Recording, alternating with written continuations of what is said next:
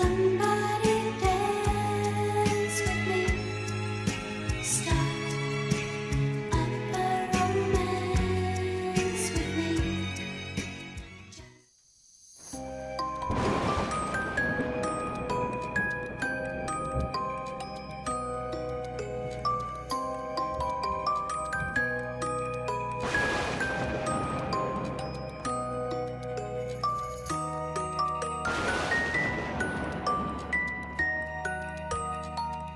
Good morning everyone, how are you doing? It's Paul here from Unusual Things. Now today I am in Hendon Cemetery in London and we have come to find the final resting place of Lynsey DePaul. Um, now I don't know if you remember her, she's an amazing singer, composer, actress, beautiful lady, very talented. Um, went out with so many celebrities as well, dated so many, so many um, celebrity men as well. So, but a real intelligent, bright um, woman and wow she had she had so much history i can only obviously go into part of it like i do with all my videos i don't tell you everyone's full life story otherwise i would be here all day and night however i tried to take snippets of that person's life story to give you some information.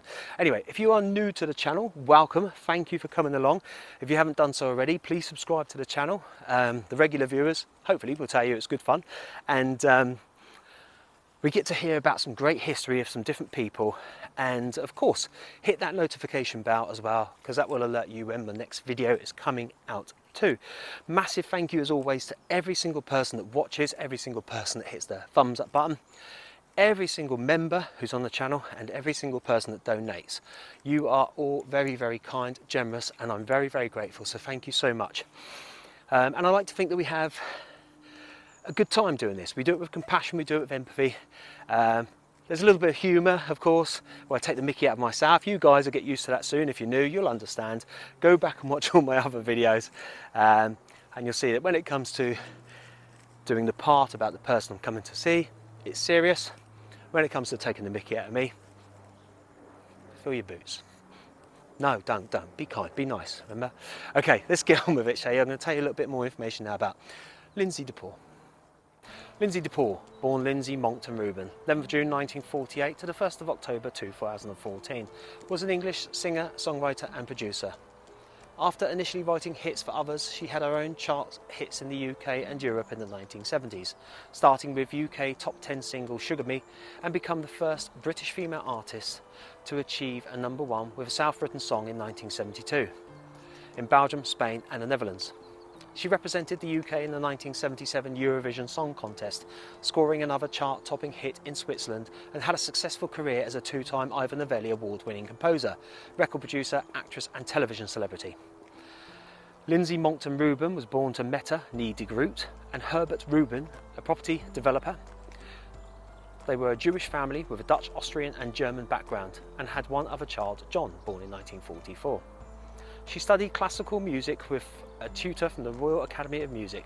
She attended South Hampstead High School, followed by Hornsey College of Art, now part of Middlesex University.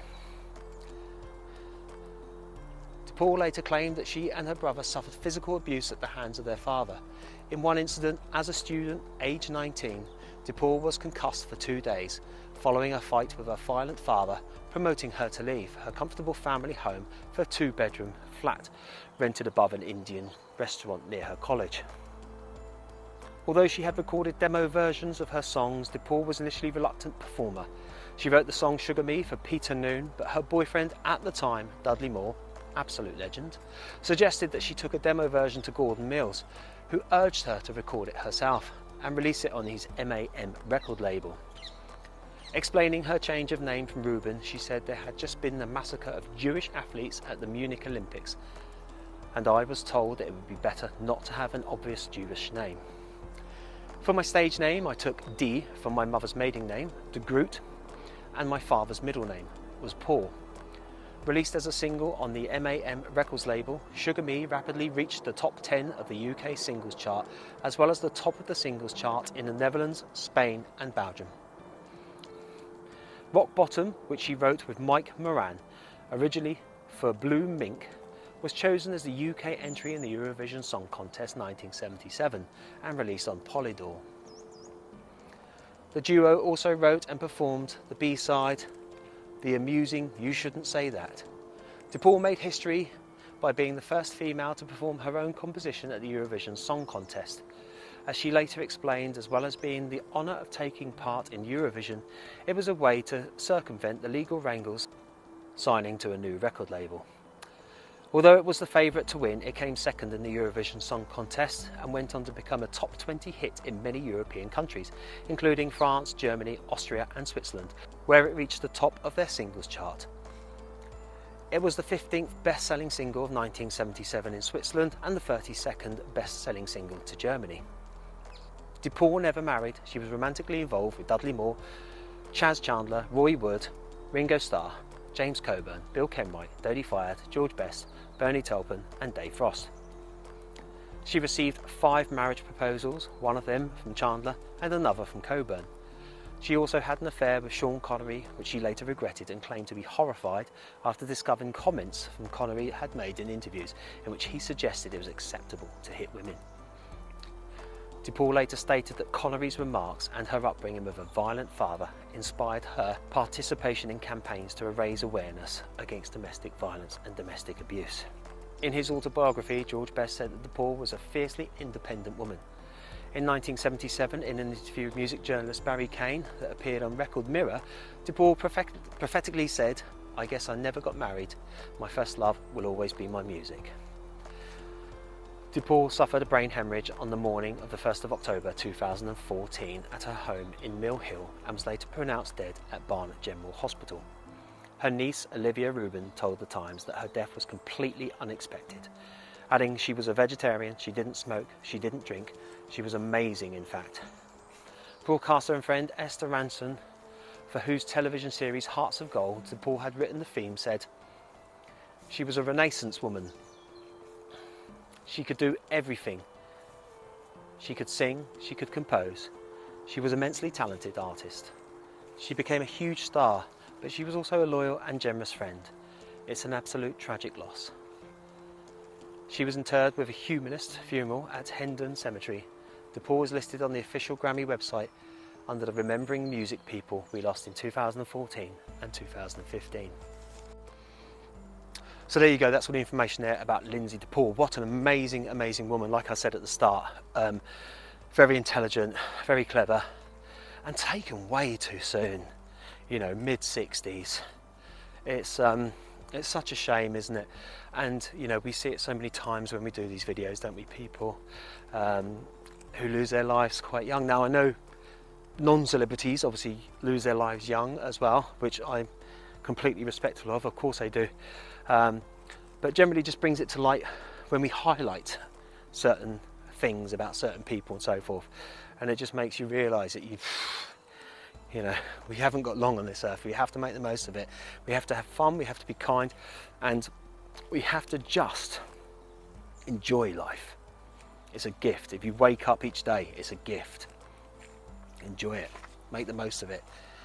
You know, if you're having a tough time, if life's throwing pretty rubbish hand at you, not every day's like that. And you'll look back at your past and you'll go, not every one of my days has been like that. I've had good days.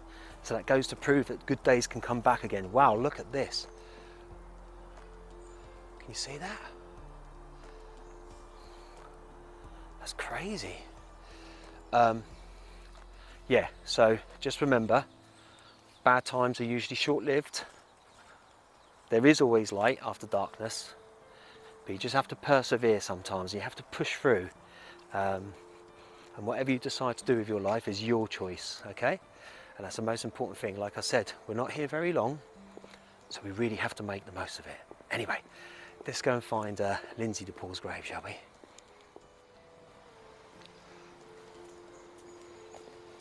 I think I found it.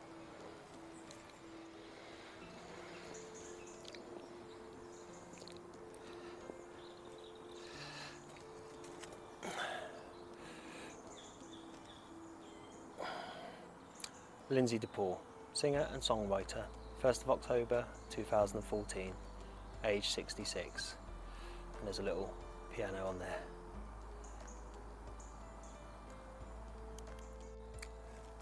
So there we have the final resting place of Lynsey DePaul, such a talented, talented lady. Um, bless you, Lynsey. Thank you for the great music you brought to us all and for coming second in the Eurovision, which very rarely happens for us. But um, such a well respected and intelligent lady as well. And, uh, you know, bless you. So there we have it. Lynsey DePaul's final resting place. And she was a remarkable woman, you know, to have her own song written and then to enter the um, Eurovision as well. Uh, amazing. And such a beautiful lady as well. And it's a shame, you know, 66 to die of a hemorrhage. It's just like, goes to show, like I said earlier on, it can happen at any time to anyone. So we really must make the most of what we get each day. Anyway, if you like the video today, please give it a thumbs up. And uh, please leave a comment down below, of course, and hit that notifications bell um, so you know when the next video is coming out. And I will leave you all, and I will see you all on the next one. Take it easy.